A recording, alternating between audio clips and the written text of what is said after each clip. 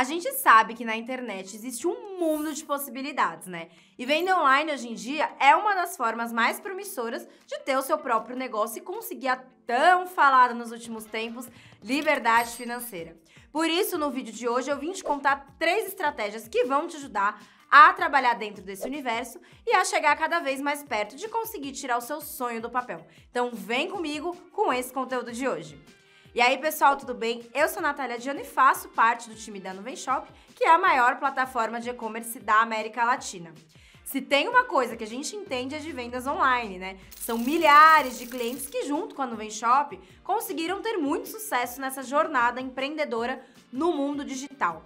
Então eu reuni aqui três modelos de negócios bem interessantes e que funcionam super bem na internet. Além disso, em cada uma dessas ideias eu ainda trouxe dicas específicas para te ajudar com os primeiros passos. Se você gosta desse tipo de conteúdo, já se inscreve aqui no canal para acompanhar todos os próximos vídeos que estão vindo por aí. Tem muita coisa boa, viu? Eu te garanto. E se você já está com planos de começar a vender online, mas não sabe como começar, eu vou te dizer que um dos primeiros passos é criar a sua própria loja virtual.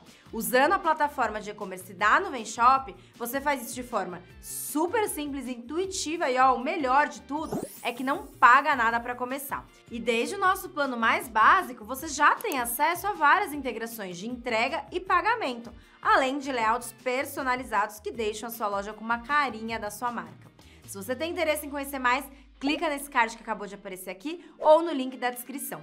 Ó, ainda vou te deixar um descontinho especial com esse link, fechou? E agora, indo para o assunto do vídeo, a primeira forma de vender pela internet é trabalhando com produtos digitais. Se você domina algum assunto específico ou tem algum conhecimento relevante para compartilhar, por que não passar isso para frente? Essa pode ser uma oportunidade muito boa de começar. As formas para fazer isso são diversas. Você pode criar um e-book, um curso online, uma consultoria, na internet, as pessoas consomem conteúdo rapidamente e não tem como negar que essa virou uma porta de entrada gigante para o conhecimento e também para o mundo profissional. Então, a minha dica é que além de escolher um nicho que você domina muito e tem experiência, você também pesquise o que já foi feito e aí tente criar uma nova abordagem para cada assunto. Ai, Natália, mas eu acho que eu não entendo muito de nada. Não tem nenhum assunto assim que eu domino, que eu posso dar um curso. Tem certeza? Eu te indicaria aqui como primeiro passo colocar no papel todas as possibilidades que você tem. Tem algum hobby seu que pode ser transformado em negócio? Cozinhar, ler, limpar a casa, vale tudo mesmo. Hoje em dia, esse universo do online nos oferece opções de cursos de absolutamente tudo. E sempre tem quem precisa exatamente daquilo que você mais sabe ou gosta. Um ponto bem legal é que produzir esse tipo de conteúdo costuma ser bem mais barato, principalmente quando a gente compara com produtos físicos mesmo. Você pode criar PDFs, produzir videoaulas, fazer planilhas e checklists. E se você tiver um orçamento para isso, até vale contratar alguém para te ajudar com esses materiais. Mas se você quiser começar sozinho, também é super possível. Mais difícil, claro, mas super possível. O pulo do gato aqui é você estudar bastante esse assunto, procurar cursos especializados nisso, de gente que realmente entende e se empenhar em se aprofundar nessas estratégias. Porque de nada vai adiantar também você querer fazer e não saber como produzir, como divulgar, quando começar a vender. Então, se você optar por esse caminho, estude sobre ele. Depois disso, aí sim você precisa criar uma loja virtual para expor os seus produtos ou buscar plataformas de venda como a Hotmart, que é especializada em produtos digitais. Agora, uma dica bônus aqui, ó. Os produtos digitais são uma opção muito boa, mas se você quiser ir um pouquinho além e oferecer consultorias personalizadas, o seu ticket médio pode ser ainda maior. A segunda forma de vender pela internet é produzindo seus próprios produtos. E aqui, gente, assim como tudo que eu acabei de falar, você também precisa encontrar um nicho que tenha a ver com você, que você goste e principalmente que você saiba fazer. As opções também são variadas. Você pode trabalhar com artesanatos, peças de roupas feitas à mão, vender doces, comidas congeladas.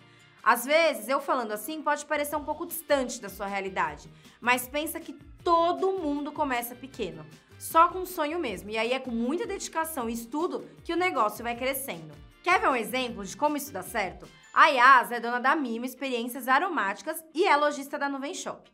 Ela começou seu negócio sozinha, fazendo suas velas artesanais em casa mesmo, e hoje ela vende para todo o Brasil e até para fora daqui ela já mandou algumas velas. Como ela, a gente tem vários outros casos de sucesso. O que todos eles têm em comum? Alguma habilidade que também pode ser aprendida, viu, adquirida com o passar do tempo, e a vontade de fazer o seu negócio crescer e dar certo. Aqui três pilares básicos: qualidade de trabalho, consistência e volume. Se for o caso, você gostou desse segundo caminho e quer produzir seus próprios produtos, você precisa colocar na balança algumas coisas importantes. Então, custos materiais da matéria-prima, gastos que você tenha com o espaço que você vai precisar usar, como água, luz, internet, o valor da sua mão de obra e do tempo que você leva para produzir cada peça.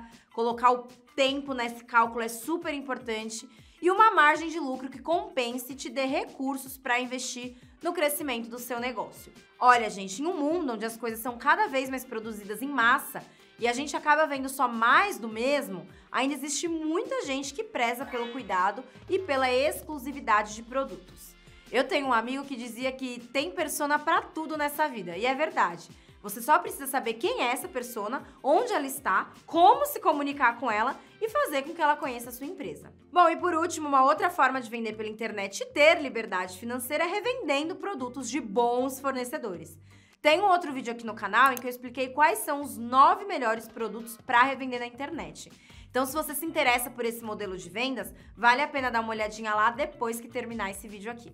Mas falando um pouco mais do modelo de negócio em si, nesse caso é fundamental que você encontre bons parceiros e fornecedores, porque só assim o seu negócio vai ser sustentável a longo prazo. Então, algumas dicas para encontrar opções de fornecedores. Visitar eventos e conhecer polos industriais dos produtos que você quer vender.